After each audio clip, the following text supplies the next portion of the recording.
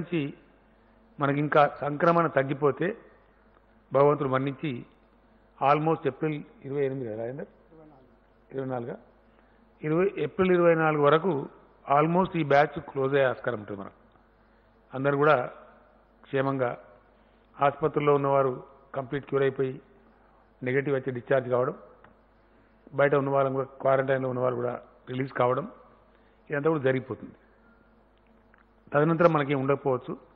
కొత్త ఉప్పెన వచ్చి పడకపోతే కొత్త ఉత్పాతం రాకపోతే మనం చాలా వరకు దీన్ని బయటపడ్డ వాళ్ళం అవుతాం. ఇది రాకూడదనే ఇప్పుడు ముంబైలో మనకు ఇప్పుడు మన దేశమే. ఇతర దేశాలు అట్లుంటే మహారాష్ట్ర నుంచి ఈరోజు వార్త వచ్చింది ఒక్కరోజే పదకొండు మంది చచ్చిపోయినారు అక్కడ. అండ్ రాజస్థాన్ ఓ కితనే నికలే మరి సుమేజీ ఏ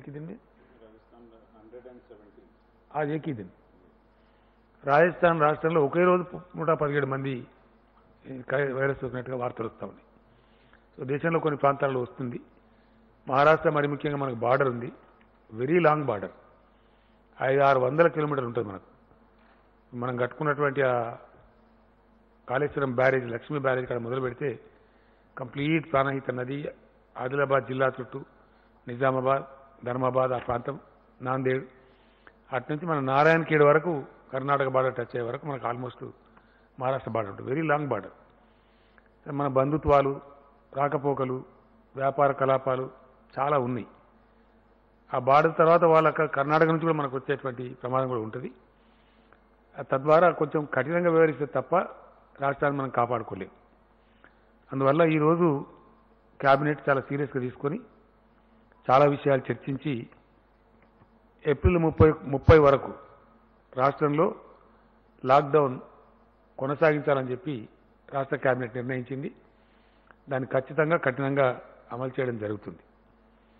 నేను పదే పదే ప్రజలకు ఇంతకుముందు అప్పీల్ చేసినట్టుగా మళ్ళీ ఒకసారి నేను ప్రజలందరినీ కోరుతూ ఉన్నా దయచేసి ఇది మన క్షేమం కోసం మన సమాజం కోసం మన పిల్లల భవిష్యత్ కోసం అందరి యొక్క మంచిని కాంక్షించి చేసే పని కాబట్టి దయచేసి గతంలో మీరు ఎట్లయితే సహకరిస్తూ వచ్చినారో ఇప్పుడు కూడా అట్లే సహకరించాలి.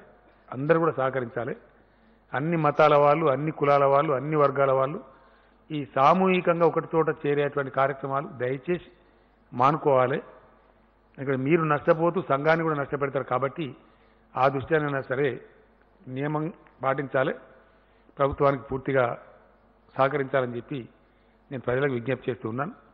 దయచేసి సహకరిస్తే ఈ నాలుగు రోజులు ఓపిక పడితే ఒకవేళ మన అదృష్టం బాగుంటే కాలం కలిసి వస్తే ఏప్రిల్ ముప్పై తర్వాత మనం లాక్డౌన్ దశల వారీగా ఎత్తివేసేటువంటి కార్యక్రమం కూడా ఆలోచించుకునే అవకాశం ఉంటుంది. ఒకేసారి ఏకమొత్తం కాకపోయినా కనీసం దశల వారీగా ఎత్తేసుకొని కొంత ముందు పోయేటువంటి పరిస్థితి కూడా మనకు రావచ్చు. కాబట్టి ఆ ప్రకారంగా అందరూ కూడా సహకరించాలని చెప్పి కోరుతా ఉన్నా. విద్యార్థుల తల్లిదండ్రులు కొంత ఆందోళన చెందుతూ ఉన్నారు. మనం ఇంటర్మీడియట్ ఎగ్జామ్స్ సక్సెస్ఫుల్గా పూర్తి చేసుకున్నాం. ఒక ఎస్ఎస్సి మటుకు మధ్యలో ఆగిపోయింది. దాని మీద కొద్ది రోజులు ఆగి నిర్ణయం చేద్దాం. కానీ ఒకటో తరగతి నుంచి తొమ్మిదవ తరగతి వరకు ఎవరైతే పిల్లలు ఉన్నారో ప్రభుత్వ పాఠశాలలు కానీ ప్రైవేట్ పాఠశాలలు కానీ వాళ్ళకి ఎట్లాగూ డిటెన్షన్ లేదు. వాళ్ళందరినీ పాస్ చేసినట్టుగా ప్రకటిస్తా ఉన్నాం. ఇలా కేబినెట్ నిర్ణయించింది. ఇతర రాష్ట్రాలు నిర్ణయం తీసుకున్నట్టుగా వాళ్ళందరినీ ప్రమోట్ చేయాలని చెప్పి కేబినెట్ ఈరోజు డిసైడ్ చేసింది. కాబట్టి ఆ పిల్లల తల్లిదండ్రులు బెంబేలెత్తాల్సిన అవసరం లేదు. అనవసరంగా దాని గురించి పెద్ద చింత చేయాల్సినటువంటి అవసరం లేదు.